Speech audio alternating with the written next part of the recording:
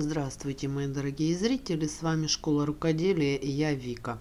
К сожалению, я не, не сняла видео, я об этом пожалела. Вот вязала себе вот такой вот свитерок и не могла разобраться с регланом вот этим. Не то чтобы не могла разобраться, я вроде бы как и понятно все, но тем не менее вот описание нашла на интернете, ну вот не могла разобраться с описанием. Вот такой вот реглан, такой вот свитерочек. И когда я его довязала, я действительно пожалела, потому что вяжется очень просто.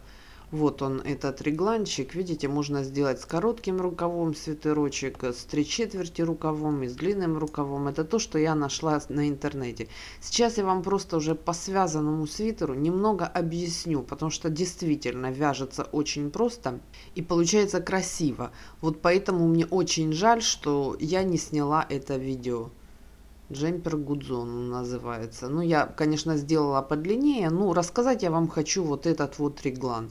Тут э, воротничок повыше, а я связала вот, вот это все описание. А я связала вот так вот. Вот именно так я хотела, чтобы этот свитерок был. Поэтому сейчас, как смогу, вам расскажу. Если вдруг большой запрос будет, то тогда придется мне снять еще одно видео. Но я думаю, все будет понятно. Так, вот он мой связанный свитер. Вот смотрите, этот реглан, который я вам только что показывала на фотографии. И горловинка. В готовом виде, вот если это все э, встанет по плечам, она вот так вот стоит. Что хочу сказать по поводу основного вязания. Вязала в круговую, все набрала вот петли. Он у меня тянется, поэтому я его прям хотела такой в обтяжечку, в обтяжечку, свободная, чтобы была только горловина. Э, вязала снизу до реглана и снизу вязала в круговую на носочных спицах вязала рукава. При этом добавляла. Ну как обычно мы делаем на рукаве поэтому я считаю это видео для девчонок которые вяжут и все им будет понятно. То есть снизу рукава и основная деталь без шва. Вот здесь вот наполовину разделила и вставила свои рукава. Дальше продолжала вязать по кругу но уже сделала реглан. Там на фотографии, то, что я показывала, было видно, что реглан начат с основной детали.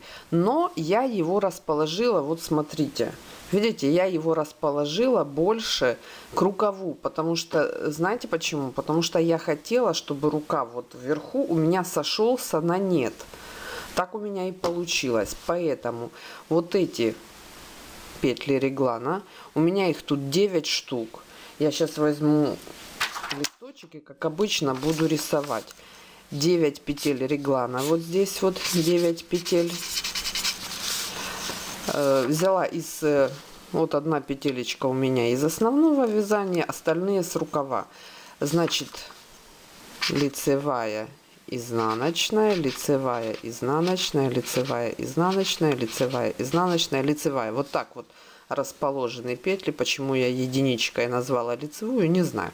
В общем, я думаю, вам понятно. И вот здесь вот, как обычно, обычный классический реглан. Вот эти петли, если реглан мы вяжем, вот эти центральные петли, одну-две петли обычно, в обычном реглане, то здесь мы вяжем просто центральные 9 петель. И по краям от, от них в каждом четвертом ряду убавляем по одной петле. То есть провязываем 2 вместе 2 вместе. 3 ряда мы вяжем без изменений и в четвертом в четвертом ряду мы снова делаем убавление. Что касается убавлений я их делала вот смотрите чтобы у меня здесь был красивый краешек я все их делала изнаночными петлями то есть э, лицевая у меня здесь вот заканчивалась. Я никогда не переходила на лицевую петлю в этих убавлениях. То есть все лицевые я ликвидировала и переходила на изнаночную, чтобы вот так вот получилось. Вот, ну вот в принципе и все. И кстати, что, что касается горловины.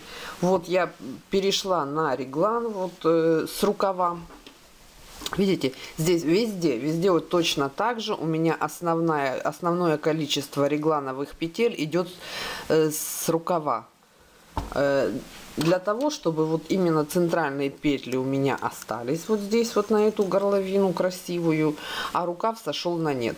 Потом я, когда у меня все вот это закончилось, я просто вязала горловинку. Видите?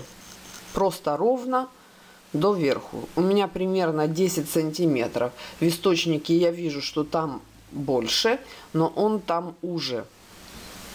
Хотя Сейчас смотрю на компьютер, ничего он там не уже. Он точно такой же, просто он выше.